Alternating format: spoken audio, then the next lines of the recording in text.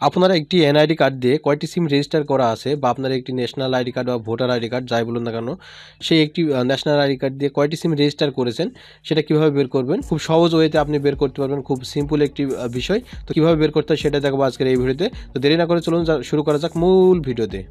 আপনি যদি আমার এই চ্যানেলে নতুন দর্শক হয়ে থাকেন, তাহলে চ্যানেলটি সাবস্ক্রাইব করবেন, পাশে থাকা বেল আইকনটি অন করবেন ভিডিওতে একটি লাইক দেবেন এবং নিচে চলে আসবেন, নিচে চলে এসে কমেন্ট অপশনে টাইপ করবেন গুড ভিডিও অথবা নাইস ভিডিও সবাইকে ওয়েলকাম ব্যাক সো বন্ধুরা, এই কাজটি করার জন্য আপনাকে যেটা করতে হবে, চলে যেতে হবে আপনার ফোনের ডায়াল প্যাড অপশনে এবং আপনাকে টাইপ করতে হবে star one six double zero one hash star one six double zero hash এই কোড নম্বরটি ডায়াল করে আপনার যেই সিমটি আপনার এনআইডি কার্ড দিয়ে রেজিস্টার সেই সিমে আপনাকে ডায়াল করতে হবে। অন্য কোনো সিম দিয়ে ডায়াল করলে কিন্তু হবে না। তো এরপরে এই ধরনের একটি অপশন চলে আসবে। এখানে আপনার এনআইডি কার্ডের লাস্টে কার্ড চার সংখ্যা দিতে হবে। এখন আমি আমার এনআইডি কার্ডের লাস্টে কার্ড চার সংখ্যা দিচ্ছি। ওকে চার সংখ্যা দেওয়া হয়ে গেলে আমরা সেন্ড করব ওকে সেন্ড করলে এখন আমাদের এখানে একটি এস এম এস চলে এসেছে।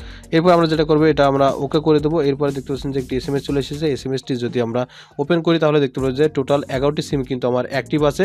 এর ভিতরে আছে জিপি কিছু সিম অ্যাক্টিভ করা আছে বাংলালিঙ্ক কিছু সিম অ্যাক্টিভ করা আছে এবং রবি অ্যাক্টিভ করা আছে। সো বন্ধুরা, এইভাবে করে আপনি চেক করে নিতে পারবেন আপনার একটি এনআইডি কার্ড দিয়ে একটি সিম রেজিস্টার করা আছে।